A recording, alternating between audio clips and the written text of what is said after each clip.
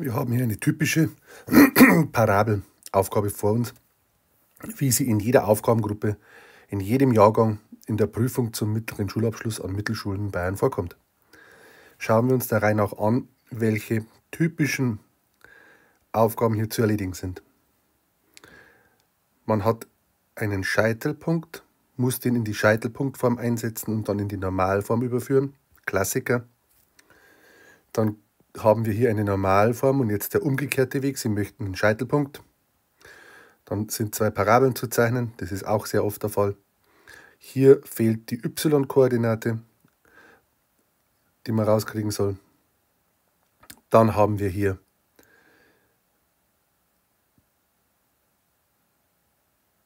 eine Schnittpunktberechnung, die Parabel P3 und P2, die schneiden sich in den beiden Punkten. Also muss man es gleichsetzen. Und bei f haben wir noch die Aufgabe, eine Parabel, eine Normalform aufzustellen, wenn zwei Punkte der Parabel und die Information, dass sie nach oben geöffnet ist, gegeben sind. Das ist von oben bis unten Standard. Da ist nichts Besonderes, da ist keine Lücke, kein, kein nichts Sonderbares dabei. Äh, gehen wir es an mit, Nummer, mit A.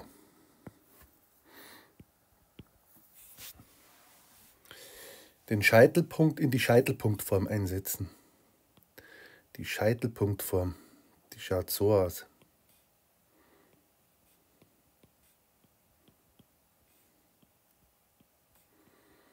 In die drei Platzhalter kommen die Informationen. Das hier wird bei uns ein Plus weil die, Scheitel, weil die Normalparabel nach oben aufgeht.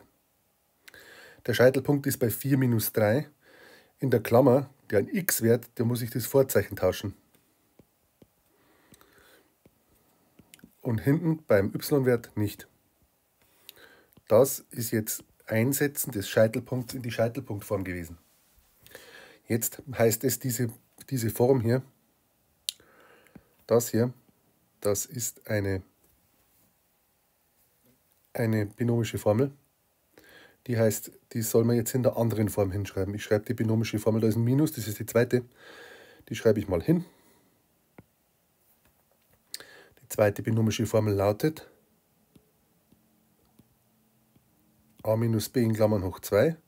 Kann man auch schreiben als a Quadrat minus 2ab plus b Quadrat. Okay, man erkennt das Muster. Wir haben das hier da stehen.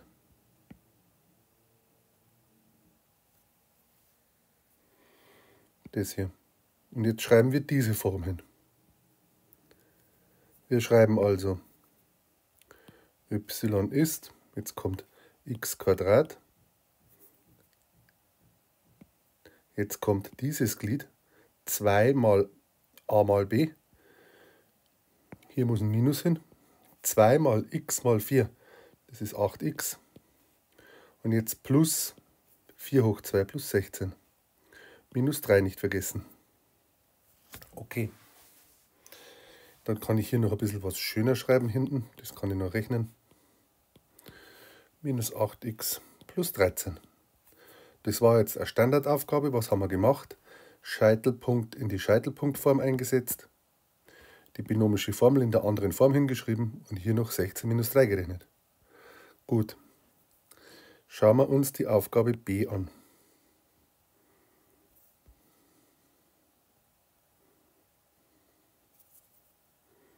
Dazu lassen wir diese erst damit verschwinden. B. Ermitteln Sie rechnerisch die Koordinaten des Scheitelpunktes bei dieser Parabel. Eine Parabel, die nach unten aufgeht, in die Scheitelpunktform zu transformieren, gehört zwar zu den Standardsachen, aber es ist eine der schwersten. Schauen wir, wie das hier läuft. Wir schreiben die erst einmal ab. y ist minus x hoch 2 plus 8x minus 15. Mich stört das Minus hier vorne, denn ich muss jetzt gleich eine binomische Formel basteln und da passt das Minus da vorne gar nicht. Folgender Trick, alle Elemente dieser Gleichung nehme ich mal minus 1. Das bedeutet, alle kriegen ein neues Vorzeichen. Gut, jetzt ist das Minus vor dem x weg. Dafür ist es hier drüben. Jetzt bastle ich aus diesem Teil eine binomische Formel, da fehlt noch was. Hier ist ein Minus, das ist die zweite binomische Formel. Ich schreibe sie mir mal eben hin, hier drüben. Da steht a minus b in Klammern hoch 2. Kann ich auch schreiben als a Quadrat minus 2ab plus b Quadrat. Wenn ich jetzt vergleiche, was ich hier habe, dann sieht es so aus, als ob ich von dieser Form hier schon die ersten zwei Sachen hätte. Und die dritte fehlt. So ist es auch. Das Minus ist da, das x, das a hoch 2, x hoch 2 ist da. Und das hier ist 2ab. Wenn ich den 2 herausrechne und das a auch, bleibt b übrig. Das wäre in dem Fall das x raus. Wenn 2 heraus bleibt 4. Es ist immer die Hälfte dieser Zahl. Wir schreiben minus y ist x minus 8x plus 4 hoch 2. Habe ich jetzt einfach dazu erfunden, muss ich sofort wieder abziehen, sonst stimmt ja die Gleichung nicht. Plus 15. Warum mache ich das? Einfach plus 4 Quadrat erfinden und sofort wieder abziehen, weil jetzt hier diese drei Teile diesem Muster hier entsprechen. Und jetzt kann ich die drei Teile auch so schreiben. Das mache ich jetzt.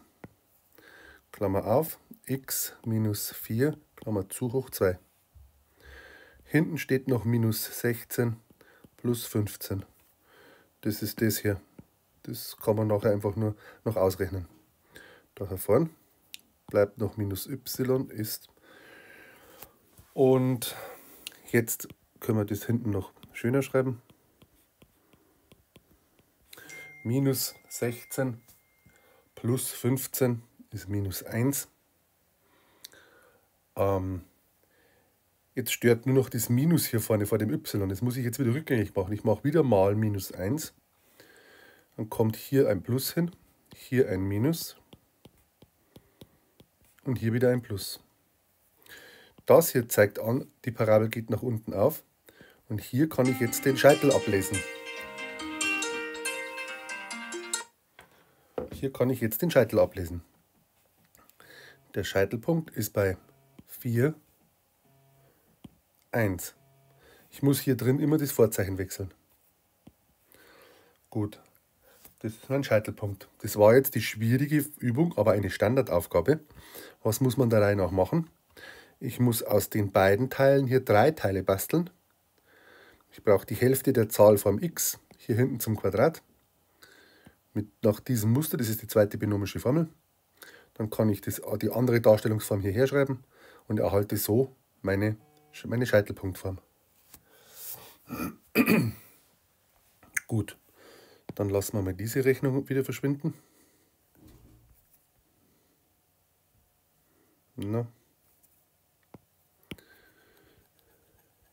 und schauen uns die nächste Aufgabe an. C. Zeichnen Sie die beiden Parabeln. Wir haben jetzt den Scheitelpunkt von der einen, hier oben, und den Scheitelpunkt von der anderen, den haben wir gerade ausgerechnet. Ich schreibe ihn mal nochmal hierher kurz. Den Scheitelpunkt, den wir ausgerechnet hatten, der war ähm, 4, 1. Also brauche ich jetzt nichts anderes zu tun, als in dem Koordinatensystem diese beiden Scheitel einzuzeichnen. Bei dieser hier, die geht nach unten, die Schablone, und die hier geht nach oben. Ich habe das vorbereitet. Das sieht dann so aus. Da sind die Scheitel, die eine nach unten und die andere nach oben. Das ist leicht, das sind leicht verdiente Punkte, so etwas zu zeichnen. Ja.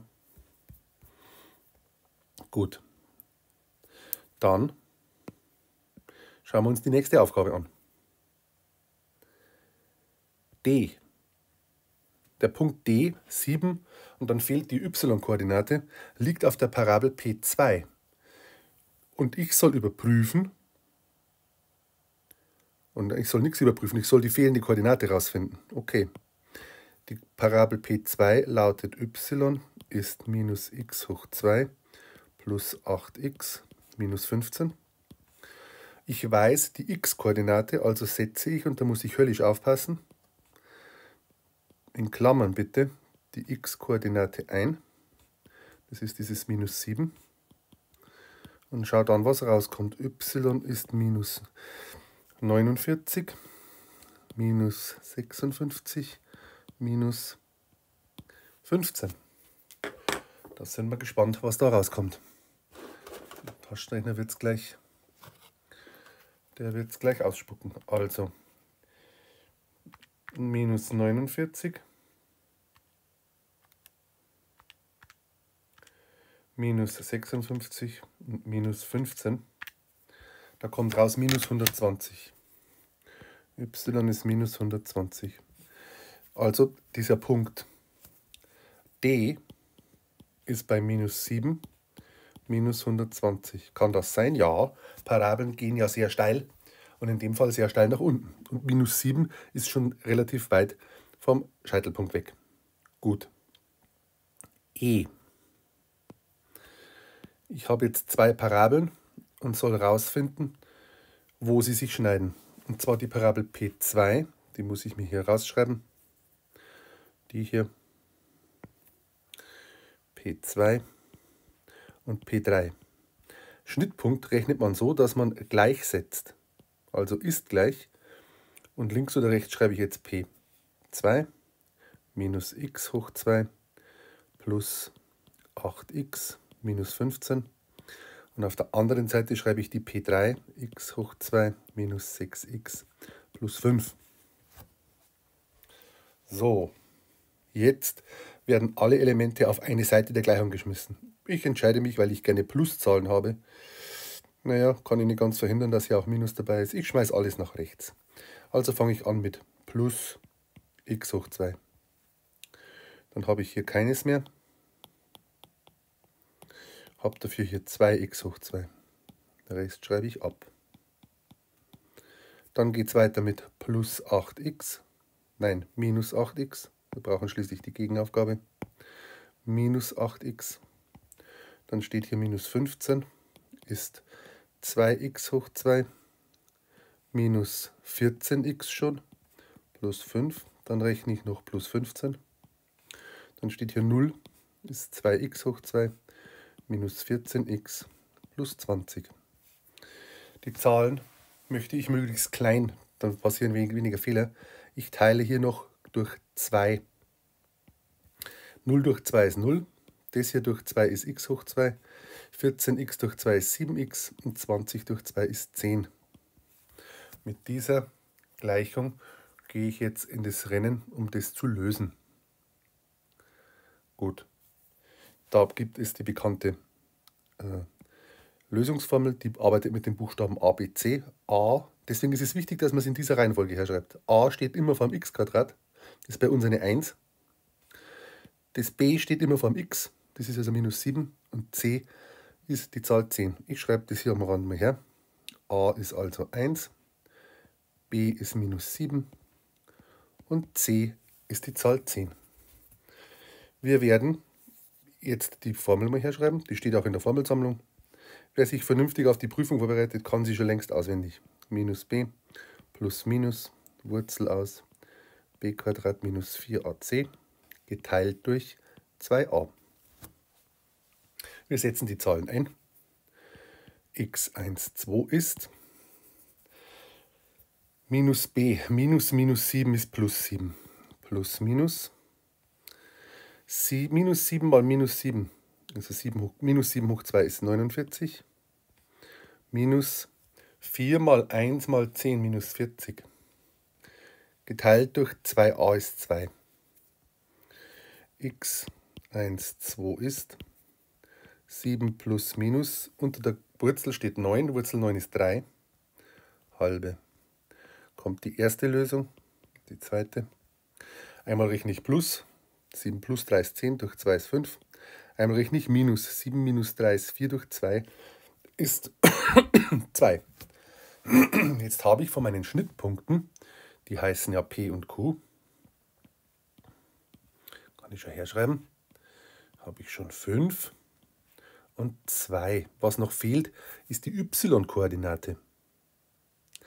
Die kriege ich raus, indem ich meine x-Werte in eine der beiden Geraden einsetze. In welche ist vollkommen egal.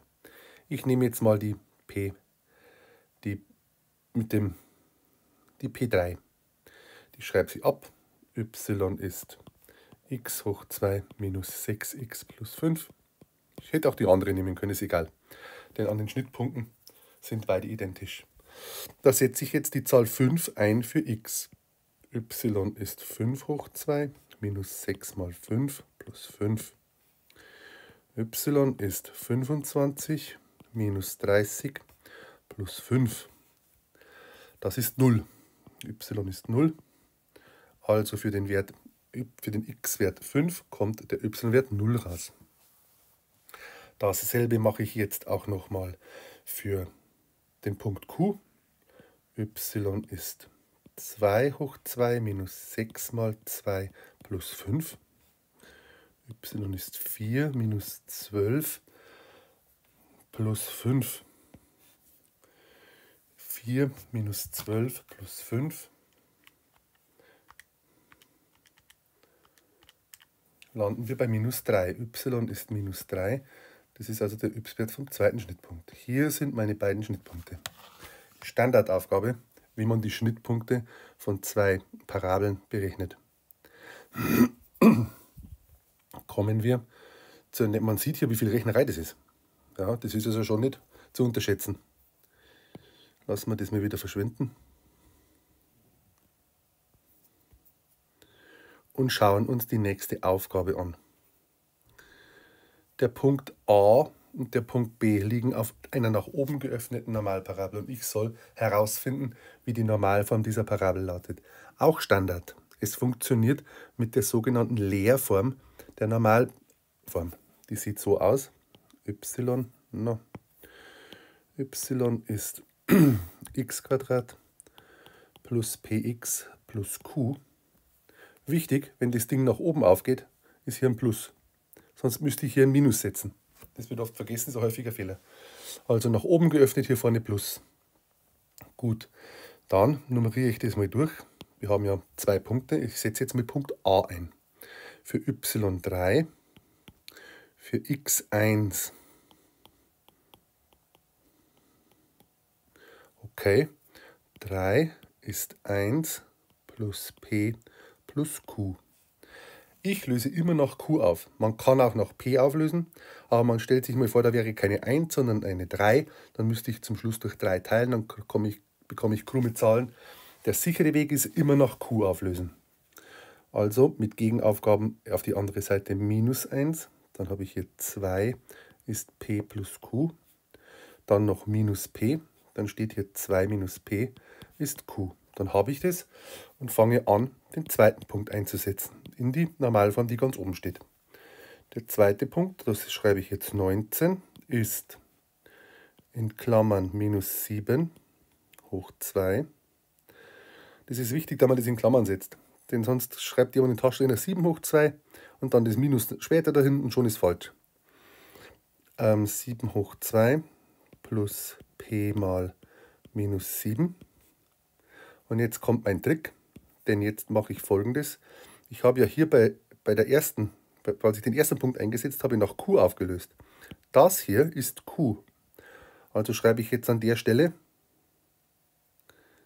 an der Stelle, wo das Q normalerweise ist, da schreibe ich jetzt 2 minus P. Neunzehn ist neunundvierzig minus 7p plus 2 minus p. Ja, dann rechne ich hm, hier noch zusammen. 49 plus 2 ist 51 minus 8p. Dann rechne ich minus 51. 8p. 19 minus 51. 19 minus 51 sind minus 32 geteilt durch minus 8. 4 ist P. Jetzt weiß ich, wie groß P ist und Q finde ich sehr leicht raus, denn hier brauche ich jetzt nur mein P einsetzen und schon weiß ich, wie groß Q ist. Also 2 minus 4 ist Q. Q ist also minus 2. minus 2 ist q. Jetzt kann ich meine, ich schreibe vielleicht diese, diese Leerform der Normalform nochmal her. y ist x hoch 2, weil es nach oben aufgeht, plus px plus q. Und unsere heißt jetzt, da gehen die beiden Punkte durch, x hoch 2 plus 4x minus 2. Das war die Aufgabe F und damit haben wir die komplette Aufgabe, die viele Punkte gibt, gelöst. Nochmal, es ist viel Rechnerei bei diesen äh, Parabel-Einzelaufgaben, äh, aber es gibt hier, ich glaube, weiß ich nicht, sieben oder neun Punkte sogar. Das macht viel aus. Und das sind alles Standards, die kann man einzeln super üben. Okay,